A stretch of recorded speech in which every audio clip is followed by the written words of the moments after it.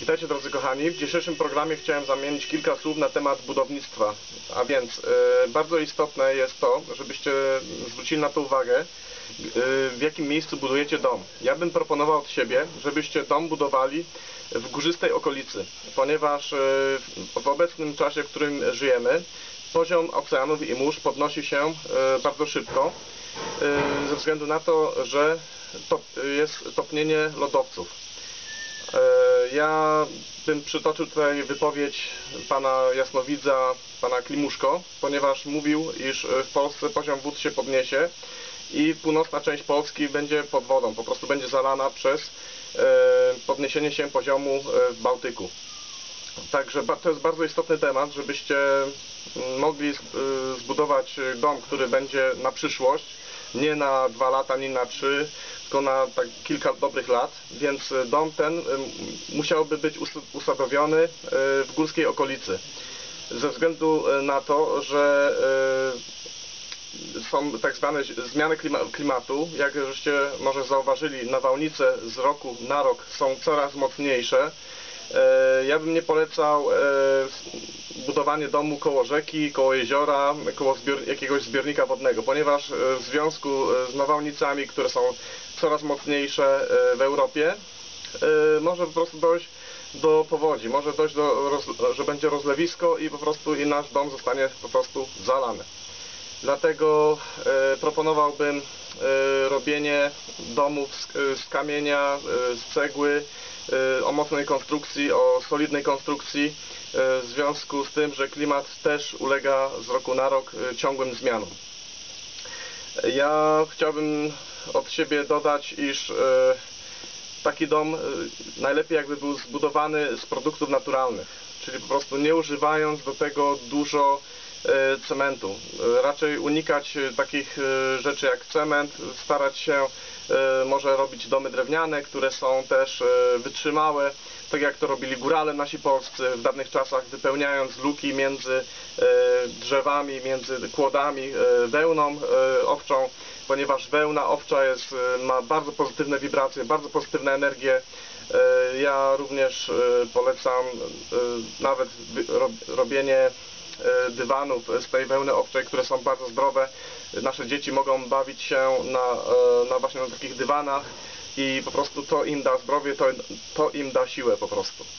E, I uważam, że stosowanie e, dywanów, które są e, jakby z włókien plastikowych, z włókien, które są nienaturalne, jest e, jak najbardziej niewskazane, ponieważ e, dają jony, które są plusowe, które nie są dobre dla naszych e, domostw, e, jak również e, elek- elektryzują się po przejściu po takim dywanie. Można też zauważyć to promieniowanie elektro, elektrostatyczne, które po prostu powoduje wyładowanie, jak się przejdzie po takim dywanie. Co chodzi o podłogi, nie polecam parkietu, który jest malowany lakierem chemoutwardzalnym, ponieważ lakier chemoutwardzalny jest rakotwórczy. Jeżeli możecie e, mieć drewnianą podłogę malowaną jakimkolwiek innym produktem, to tym lepiej dla Was, drodzy kochani. Jak również e, stosowanie mebli, które są wykonane e, i klejone klejami, które są e, wysoko toksyczne, też nie polecam Wam. Jeżeli macie możliwość zakupu mebli, które są ekologiczne, które są wykonane z drewna, ale nie są malowane żadnym świństwem chemicznym, to tym lepiej dla Was.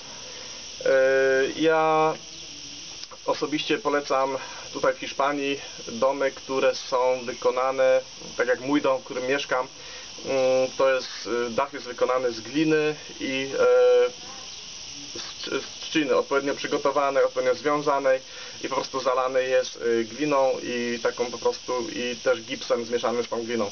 To jest po prostu y, bardzo naturalny produkt. Ten dom tutaj jest y, w, lecie bardzo świeży, a w- zimie po prostu y, też bardzo dobra atmosfera w środku panuje, także mm, polecam właśnie używanie trzciny jak również gliny z domieszką gipsu.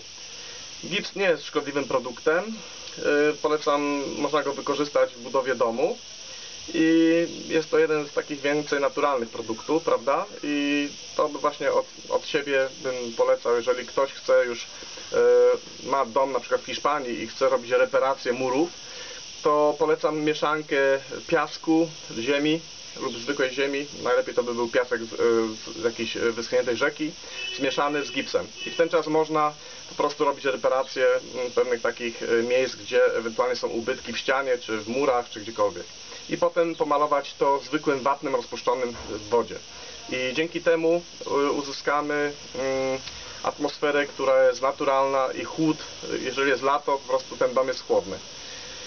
E, Malowanie wapnem jest bardzo zdrowe i jednocześnie wap- wapno e, jest dezynfekujące, dezynfekuje nam wszystkie nasze ściany, jeżeli malujemy nasz dom po prostu wapnem naturalnym. Także drodzy kochani, nic y, lepszego jak kupić y, sobie teren w górach i budować swój własny dom, e, bo to jest naprawdę przyszłość. Mm, Ja uważam, że tereny nizinne będą miały wcześniej czy później duże problemy e, w związku z tym, że się topią bieguny, że poziom oceanów się podnosi z roku na rok. Także miejcie to na uwadze i po prostu wa- warto naprawdę zwrócić na, na ten element uwagę. E, Chciałbym też zaproponować e, Państwu nasze odpromienniki, które są na linku pod naszym YouTube'em. Dziękuję Państwu za uwagę i do widzenia.